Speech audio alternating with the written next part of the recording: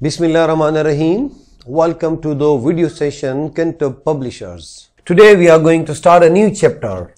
But before starting new chapter, आपके पास प्यारे बच्चों साइंस टू की बुक होनी ज़रूरी है और समर पैक चूँकि समर वेकेशन है और आप लोगों ने जो साइंस में एक्टिविटीज़ करनी है, जो कॉन्सेप्ट सीखने हैं, उनके साथ जो रिलेटेड क्वेश्चन है आपके समर पैक में, वो आप लोगों ने सॉल्व करने हैं। हाँ और कंप्लीट अंडरस्टैंडिंग के लिए ज़्यादा बेहतर होगा अगर आपके पास वर्क बुक भी है, क्योंकि दीज आर क्लोजली कनेक्टेड जितनी कॉन्सेप्ट आपके किताब में है बुक में है वर्क बुक में उनकी सारी वर्कशीट्स और एक्टिविटीज़ मौजूद हैं।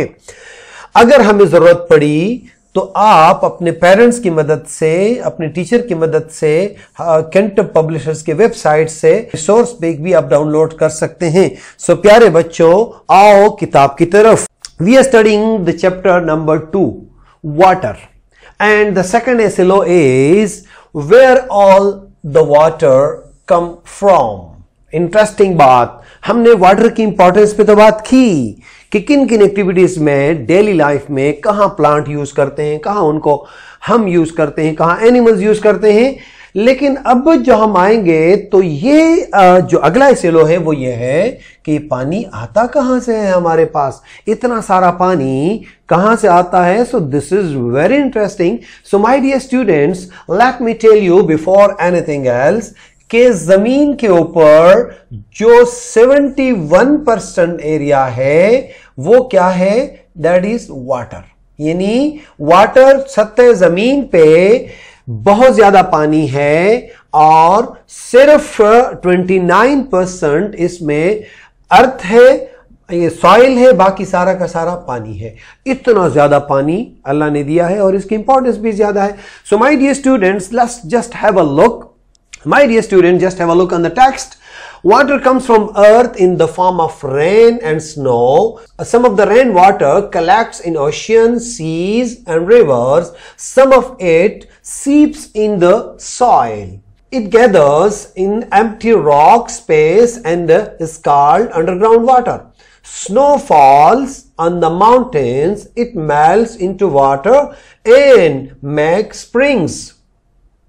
We use water from these resources to meet our daily needs तो प्यारे बच्चों, एक बड़ा प्यारा सा डायग्राम देखते हैं कि जिससे हमें यह पता चल जाए कि पानी आता कहाँ से है और किस तरीके से हमारे पास पहुँचता है। प्यारे बच्चों see on this picture this is very interesting picture और आपको मैं बताऊँ, ये फ़र्ज़ करो कि ये ज़मीन है, सतह ज़मीन। और देखें प्यारे बच्चों, यहाँ तक ज़मीन पे क्या था? ये खुशकी थी।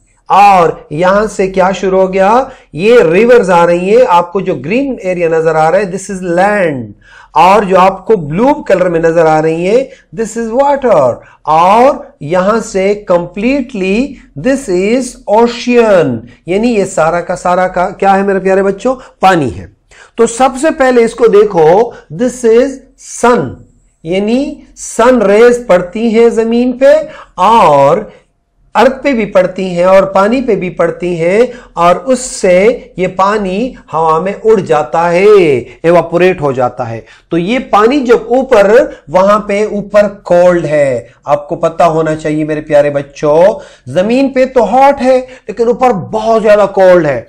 तो वो ज़्यादा कोल्ड ये पानी in the shape of vapours होते हैं तो उस कोल्ड की वजह से ये वेपर्स करीब आ जाते हैं। जब वो वेपर्स कंडेंस हो जाते हैं तो वो क्या चीज़ बन जाती है उससे? उससे बादल बन जाते हैं क्लाउड्स और जहाँ क्लाउड्स होते हैं तो वहाँ क्या बरसती है? मेरे प्यारे बच्चों ने शाबाश इट्स रेन तो ये बारिशें हो गई।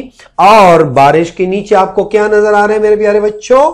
माउंटेन तो ये माउंटेन के ऊपर ये बारिश और कभी कभार ज़्यादा ठंड होती है तो उससे क्या बन जाता है? ये बर्फ़ आइस बन जाता है।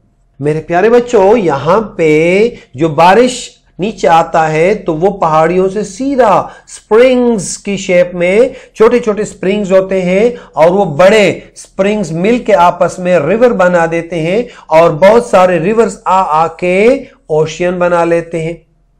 तो मेरे प्यारे बच्चों, कुछ पानी जो इधर in the shape of ice जमा हुआ था, जब टेम्परेचर थोड़ा सा बढ़ जाए तो वो भी मेल्ट होने शुरू हो जाता है। और वो पानी आके सीधा दो रास्ते से या तो सीधा जाके ओशन में, या ये पानी ज़मीन में नीचे चला जाता है। आपको पता है कि सॉइल में थोड़ा सा पोर्स होते हैं और उसके अंदर ये नीचे। और आपको ये भी पता होगा कि ज़मीन के नीचे जहाँ हम खड़े हैं, उसको अगर हम नीचे डिग करते हैं तो वो जाके नीचे क्या है? नीचे वाटर है।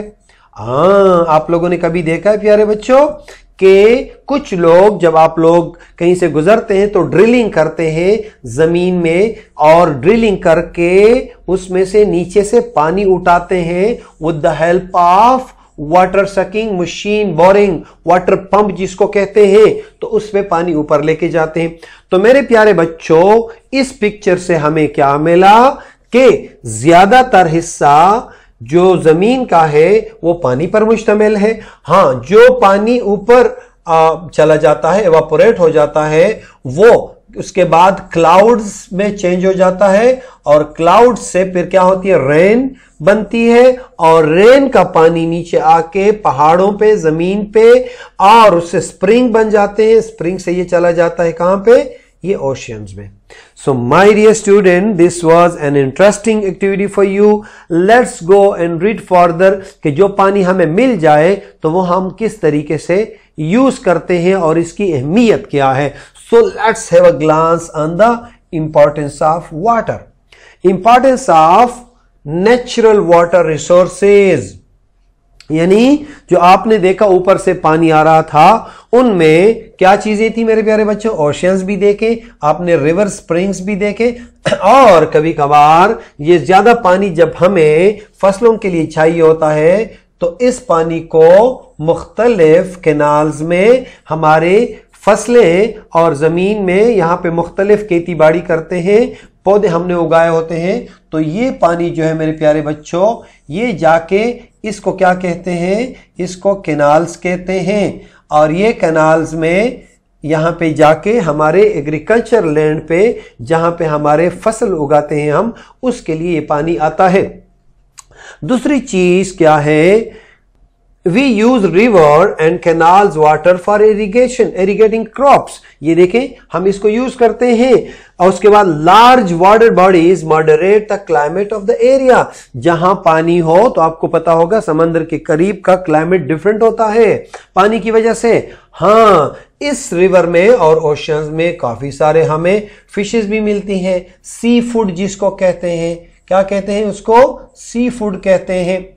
और उसके बाद इस समंदर में आपको पता होगा शीप, बहरी जहाज़ और मुख्तलिफ़ मुल्कों के साथ इसको, यानी हम यहाँ पे इसके अंदर शीप चढ़ा लेते हैं और बड़ी आसानी से डिफरेंट कंट्रीज़ के साथ हमारा रबता रहता है।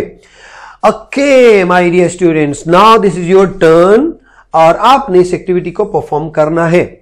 मैं just I'm going to read it for you and then you will be doing in your uh, um, workbook and your summer pack. Number one, is there any natural resource of water in your locality? जहाँ आप रहते हैं तो वहाँ पे आपको कोई ocean river spring वगैरह नज़र आते हैं from where it receive water हाँ और अगर आप इस पे सोचें कि ओशन के लिए पानी कहाँ से आता है, मैंने ऑलरेडी आपको बता दिया पूरे डिटेल से कि स्प्रिंग्स में पानी आता है ऊपर से रेन से, या यहाँ पे जो आइस होता है, वो पिघल जाता है मेल्ट होके इसमें आता है।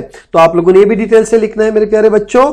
Collect information about it make a chart paste its picture and display in your classroom wow wonderful अभी अभी आ, अपने पापा से कहो कि वो आपके लिए पिक्चर्स ले और खूबसूरत चार्ट बना ले इस डायग्राम का और ये आपने जाके क्लासरूम में लगाना है अपना नाम लिख के। और उसके बाद क्या है? Collect pictures Lake Saiful Muluk Indus River and Indian Ocean from magazines और internet find out difference between them and paste in your scrapbook और ये भी आपने देखना है, झील सैफुल मलूक और इंडस रिवर और इंडियन ओशन के बारे में। ये तीन चीज़ों भी आपने वहाँ से हासिल करके कंपैरिजन करनी है और अपने स्क्रिप्ट बुक में लगाना है। Well done my dear students best of luck Allah Hafiz.